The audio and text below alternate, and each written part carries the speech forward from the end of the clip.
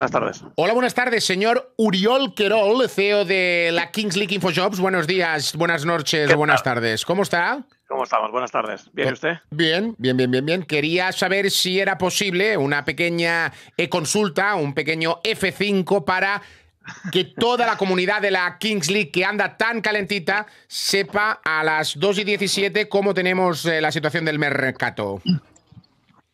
Pues mira, a las 2 y 17 ahora mismo hay presentadas a la liga correctamente, porque tengo que decir que ha habido algunos problemas de defectos de forma eh, que han hecho que tengamos que anular algunas, algunos clausulazos ah. y otros clausulazos anulados por otro motivo que si quieres luego explicamos, que es una novedad de ayer que ya os ah. comunicamos a los presidentes.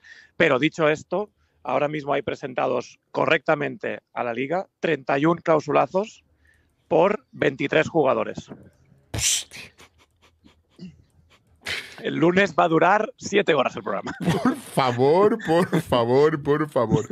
31 clausulazos por 23 jugadores. La madre que me parió. Hostia santa. Bien.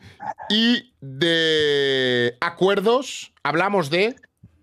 Ahora mismo presentados correctamente también, porque también de esos hay incorrectos.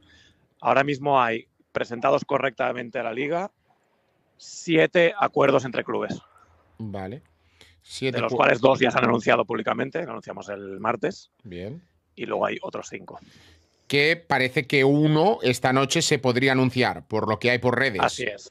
¿no? Así es. Ha dicho Móstoles. y aprovecho, aprovecho esto que dices para explicar que ayer ya os comunicamos a los eh, presidentes que hemos hecho un pequeño cambio en el reglamento del mercado que implica que si hay un acuerdo que ha sido presentado la liga antes que cualquier otro clausulazo, es decir, que por, prioridad ya va a ser la operación que salga adelante el lunes que viene.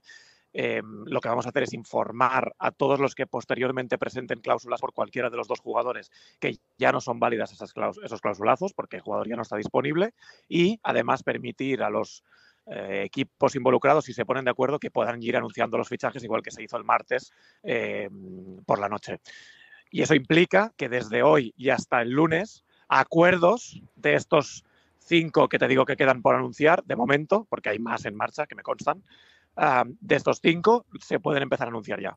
Ah. Y hay uno que se anuncia esta noche y hay otro que se anuncia, bueno, no lo voy a decir, pero otro día próximamente y probablemente